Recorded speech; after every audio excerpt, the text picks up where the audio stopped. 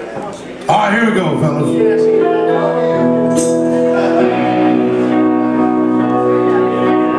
No one knows what it's like to be the bad man, be the sad man, be